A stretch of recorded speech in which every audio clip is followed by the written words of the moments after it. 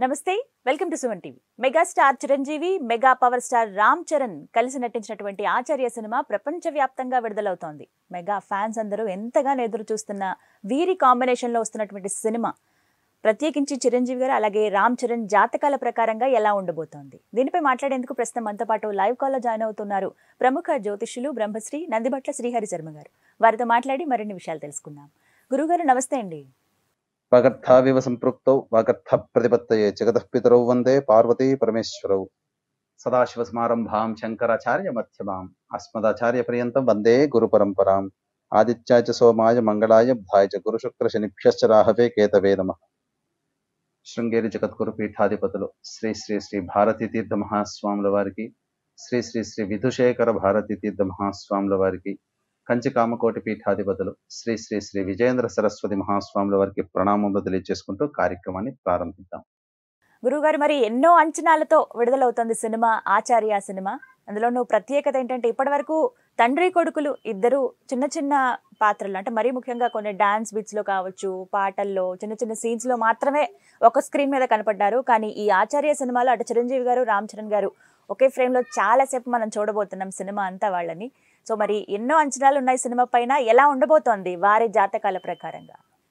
ఇక్కడ మనం ప్రధానంగా గమనించాల్సిన అంశం ఏంటనమ్మా అసలు వీరిద్దరి కాంబినేషను ఏర్పడడానికి వీరి జాతకం ఏ విధంగా తోడ్పడుతుంది అనేటువంటి విషయాన్ని గమనించుకోవాలి. ఎందుకనంటే మనం జీవితంలో ఎంతో ఎంతో ప్రయాణం చేస్తుంటాం. ప్రయాణంలో ఎంతో మంది స్నేహితులు పరిచయస్తులు పరిచయం అవుతారు. కానీ కొంతమందితోనే మనం ట్రావెల్ చేస్తాము. అలాగే వివాహం అయిన తర్వాత కూడా భార్య అనగా రుణానుబంధ రూపేణ పశుపత్ని సుతాలయ. రుణం ఉంటేనే భార్య పిల్లలు సంపద ఆలయాన్ని కట్టించేటువంటి స్థితి అవన్నీ కూడా మనకు కలుగుతాయి.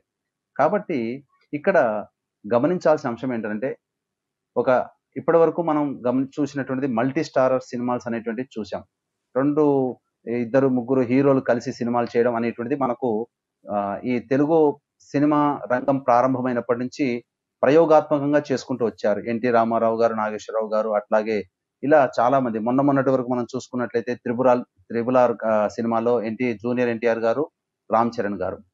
అలాగే అంతకుముందు మధ్యధరంలో చూసుకుంటే కృష్ణ శోభన్ బాబు గారు.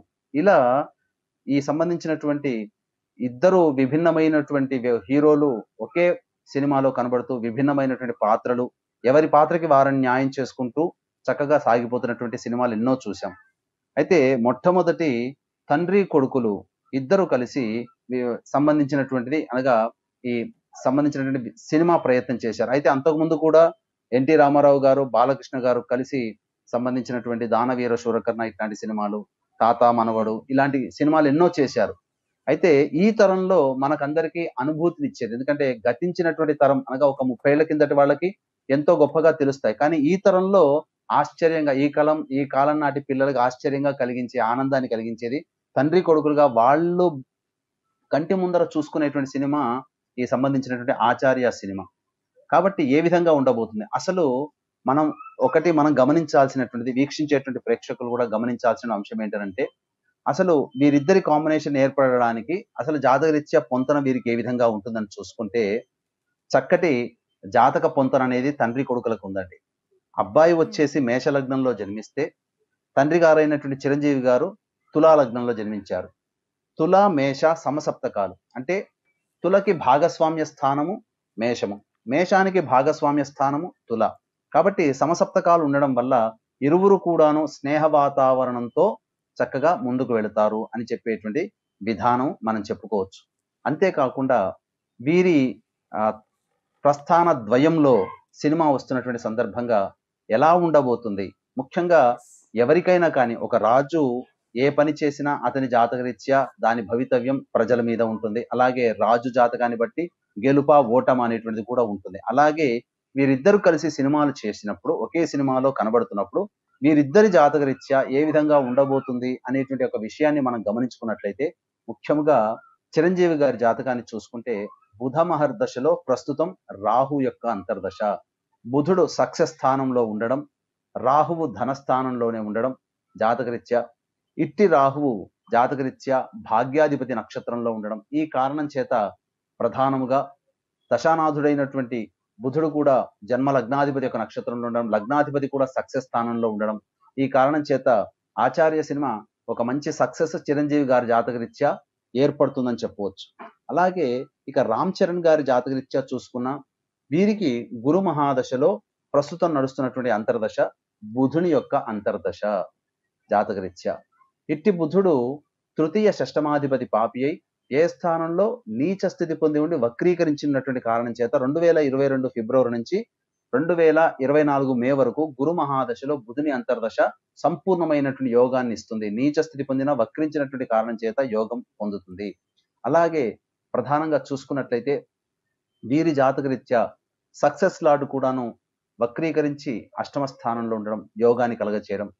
ఇది వీరి జాతకరీత్యా గురు మహాదశ కూడా యోగించేటువంటి స్థితి ఉండడం. కాబట్టి ఇరువురి జాతకరీత్యా గమనించుకున్నట్లయితే మంచి సక్సెస్ని సాధించవచ్చని చెప్పవచ్చు. అయితే ఇంకా మనం డీప్గా అనాలిసిస్ చేసినట్లయితే ఇరవై తొమ్మిదవ తారీఖు రోజున ప్రపంచమంతా కూడా ఈ సంబంధించినటువంటి సినిమా రిలీజ్ అవుతుంది. ఈ సినిమా రిలీజ్ అవుతున్నటువంటి సందర్భంలో ఆ ఇరవై తొమ్మిదో తారీఖు ఉన్నటువంటి ఉదయ లగ్నం అనగా ఉదయం పూట ఏ లగ్నం అయితే ఉంటుందో ఆ ఉదయ లగ్నాన్ని అనుసరించి ఆ యొక్క సంబంధించినటువంటి సినిమా ఏ విధంగా ఉండబోతుంది అనేటువంటిది మనం ఉదయ లగ్నాన్ని అనుసరించి మనం చూసుకోవచ్చు. ఈ యొక్క ఉదయ లగ్నము మేష లగ్నం అయింది మేష లగ్నంలో రవి రాహుల యొక్క కలయిక. అలాగే జాతకరీత్యా లగ్నాధిపతి ప్రశ్న ఉదయ లగ్నాధిపతి అయినటువంటి కుజుడు లాభస్థానంలో ఉండి లాభాధిపతితో కలిసి ఉండడం.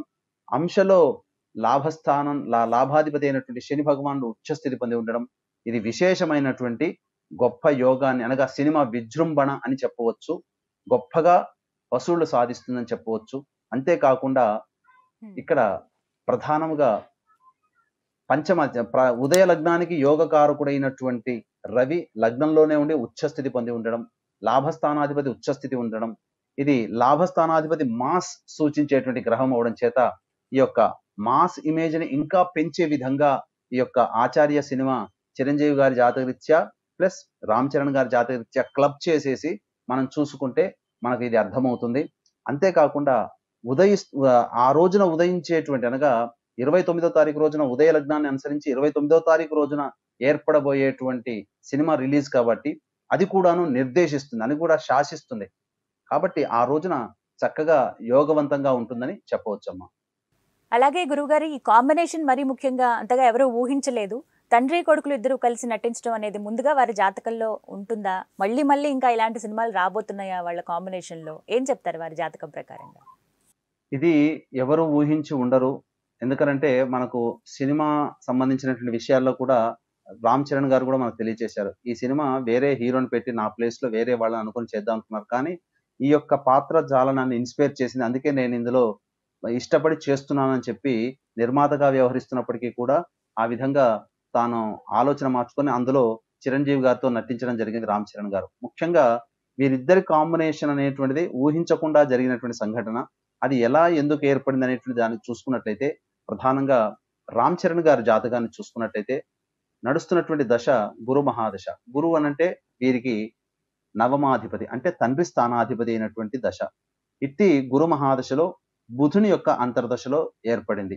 ముఖ్యంగా ఆ రోజు రిలీజ్ అవుతున్నటువంటి సమయానికి వీరి నక్షత్రానికి సాధన తారవ్వడం రామ్ చరణ్ గారికి సాధన తారవ్వడం అలాగే జాతకరీత్యా గమనించుకున్న వీరికి ఎక్కువగా తండ్రి గారి కంటే రామ్ చరణ్ గారికి ఎక్కువగా ఇమేజ్ వచ్చే అవకాశాలు ఎక్కువగా ఉన్నాయి. ఈ సినిమా విడుదలైన తర్వాత ఈ రామ్ చరణ్ గారి గురించి కూడాను తండ్రిని మించిన తనయుడు అనేటువంటి తండ్రికి తగ్గ తనయుడుగా ఇప్పటిదాకా మనం గమనిస్తూ వచ్చామండి.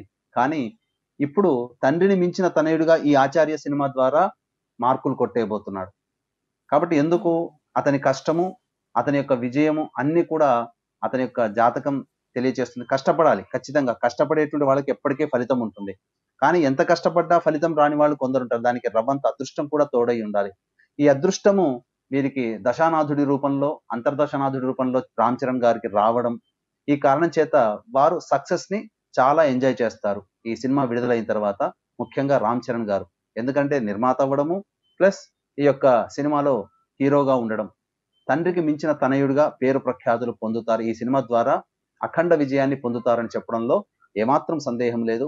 ఇక యాజ్ యూజువల్గా మనం చూసుకున్నట్లయితే ఈ చిరంజీవి గారి జాతకాన్ని కూడా మనం పరిశీలన చేసుకున్నట్లయితే జాతకరీత్యా ఇట్టి చిరంజీవి గారి జాతకరీత్యా కూడా మంచి యోగవంతమైనటువంటి పరిస్థితి. ఎందుకంటే అనగా బుధ మహర్దశలో రాహు అంతర్దశ. రాహు ధనస్థానంలో ఉండడం. అట్లాగే వీరిద్దరికీ కూడాను రాహువు ఆ, రామ్ చరణ్ గారికి లగ్నంలోనే ఉండడం. ఏ లగ్నంలోనైతే జన్మించారో రామ్ చరణ్ గారు అదే లగ్నంలో ఉండగా ఉదయిస్తున్నటువంటి ఇరవై తొమ్మిదో తారీఖు రోజున ఆ యొక్క రోజు అవ్వడం. ఈ కారణం చేత తప్పకుండా సక్సెస్ని సాధిస్తారని చెప్పడంలో ఏమాత్రం సందేహం లేదని చెప్పు ఎస్ మనం కూడా కోరుకుందాం గురువు గారు హ్యూజ్ సక్సెస్ అవ్వాలి ఆచార్య సినిమా. ఎన్నో అంచనాలతో విడుదలవుతూ ఉంది. మరి ముఖ్యంగా మెగా ఫ్యాన్స్కి అయితే పండగనే చెప్పుకోవాలి. ప్రతి ఒక్క అభిమానికి నిజంగా ఒక పండగ రోజు అది. మనం కూడా చూసి ఎంజాయ్ చేద్దాం సినిమా సక్సెస్ అవ్వాలని కోరుకుందాం. థ్యాంక్ యూ సో మచ్ గురువు గారు అడిగిన లైవ్ కాల్ జాయిన్ అయ్యారు. చాలా విలువైన విశేషాలు తెలియజేశారు. నమస్కారం. సర్వం శ్రీ ఉమామహేశ్వర పరబ్రహ్మార్పణమస్తు.